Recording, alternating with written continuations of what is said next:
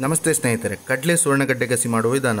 ಮೊದಲಿಗೆ ಬೇಯಿಸಿದ ಕಡಲೆ, ತೆಂಗಿನಕಾಯಿ ತುರಿ, ಬೆಳ್ಳುಳ್ಳಿ, ಹುಣಸೆಹಣ್ಣು, ಬ್ಯಾಡಗಿ ಮೆಣಸು, ಕೊತ್ತಂಬರಿ, ಜೀರಿಗೆ ಮತ್ತು ಮೆಂತೆ. ಒಗ್ಗರಣೆಗೆ ಬೇಕಾಗುವ ಸಾಮಾನುಗಳು ಕರಿಬೇವಿನ ಸೊಪ್ಪು, ಬೆಳ್ಳುಳ್ಳಿ, ನೀರುಳ್ಳಿ, ಸಾಸಿವೆ. ಇವನ್ನು, ಎಲ್ಲವನ್ನು ಹಾಕಿ ಒಂದು ಮಿಕ್ಸಿಯಲ್ಲಿ, ಅಂದರೆ ಮೊದಲಿಗೆ ತೋರಿಸಿದಂಥ ಪದಾರ್ಥಗಳನ್ನು, ಅಂದರೆ ಬೇಯಿಸಿದ ಕಡಲೆ, ತೆಂಗಿನಕಾಯಿ ತುರಿ, ಬೆಳ್ಳುಳ್ಳಿ, ಹುಣಸೆ ಹಣ್ಣು, ಬ್ಯಾಡಿಗೆ ಮೆಣಸು, ಕೊತ್ತಂಬರಿ, ಜೀರಿಗೆ, ಮೆಂತೆ, ಇವೆಲ್ಲವನ್ನು ಮಿಕ್ಸಿಯಲ್ಲಿ ಹಾಕ್ಕೊಂಡು ರುಬ್ಬಬೇಕು ಮೊದಲಿಗೆ.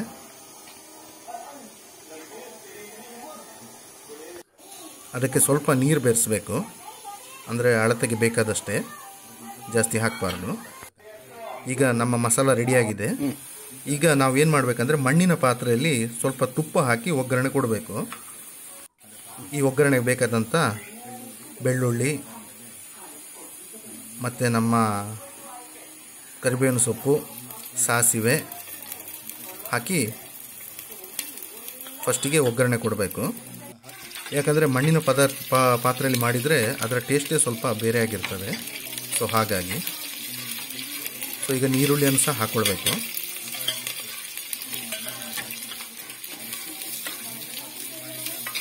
ಚೆನ್ನಾಗಿ ಮಿಕ್ಸ್ ಮಾಡ್ಕೊಳ್ಬೇಕು ಇದನ್ನು.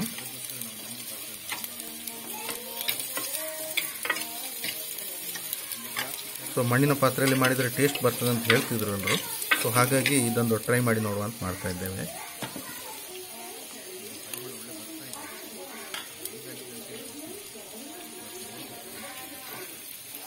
ಸೊ ಈಗ ನಾವು ಮೊದಲಿಗೆ ಕಡ್ದು ಇದು ಮಿಕ್ಸ್ ಮಾಡಿದ್ದೇವಲ್ಲ. ಸೊ ಅದನ್ನು ಈಗ ಇದಕ್ಕೆ ಹಾಕಬೇಕು. ಬೇಯಿಸಿದ ಕಡಲೆ, ತೆಂಗಿನಕಾಯಿ, ತುರಿ ಎಲ್ಲ ಅದನ್ನ ಅದನ್ನೀಗ ಈ ಒಗ್ಗರಣೆ ಒಟ್ಟಿಗೆ ಮಿಕ್ಸ್ ಮಾಡಬೇಕು.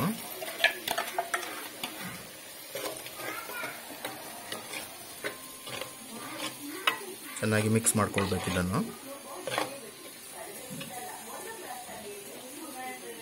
ಸೊ ಸ್ವಲ್ಪ ನೀರು ಹಾಕ್ಕೊಳ್ಬೇಕು ಯಾಕಂದರೆ ದಪ್ಪ ಆಗಿದೆ.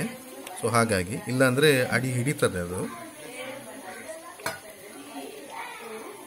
ಸ್ಮೆಲ್ ಒಳ್ಳೆ ರೀತಿಯಲ್ಲಿ ಬರ್ತಾ ಇದೆ. ಸ್ವಲ್ಪ ನೀರು ಹಾಕ್ಕೊಂಡಿದ್ದೇವೆ ಸೊ, ನೀರು ಹಾಕಿದ್ದೇವೆ. ಸೊ, ಇದಕ್ಕೂ ಮೊದಲು ಏನು ವಿಧಾನ ಅಂದರೆ ಸ್ನೇಹಿತರೆ, ಸೊ, ಕಡಲೆ ಮತ್ತು ಸುವರ್ಣಗಡ್ಡೆಯನ್ನು ನಾವು ಫಸ್ಟ್ ಬೇಯಿಸಿ ಇಟ್ಕೊಳ್ಬೇಕು ಒಂದು ಸೈಡಲ್ಲಿ ಆ್ಯಕ್ಚುಲಿ ಸೊ, ಅದನ್ನೀಗ ಇದಕ್ಕೆ ಹಾಕಬೇಕು. ಸೊ, ಉಪ್ಪು ಎಷ್ಟು ಬೇಕು ಅಷ್ಟೇ ಹಾಕ್ಕೊಳ್ಬೇಕು ಉಪ್ಪು ಜಾಸ್ತಿ ಸಹ ಕಮ್ಮಿ ಸಹ ಆಗಬಾರ್ದು ಸೊ, ನಿಮಗೆ ಎಷ್ಟು ಬೇಕು ಅಷ್ಟು ಹಾಕ್ಕೊಳ್ಳಿ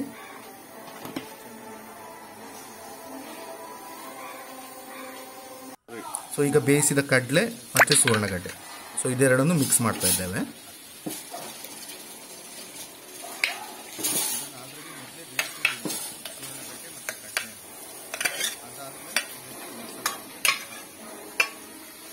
ಸೊ ಇದನ್ನು ಚೆನ್ನಾಗಿ ಮಿಕ್ಸ್ ಮಾಡ್ಕೊಳ್ಳಿ. ಮಸಾಲ ಸ್ವಲ್ಪ ದಪ್ಪ ದಪ್ಪ ಇದ್ರೇ ಒಳ್ಳೆಯದು ಟೇಸ್ಟ್ ಬರುತ್ತೆ.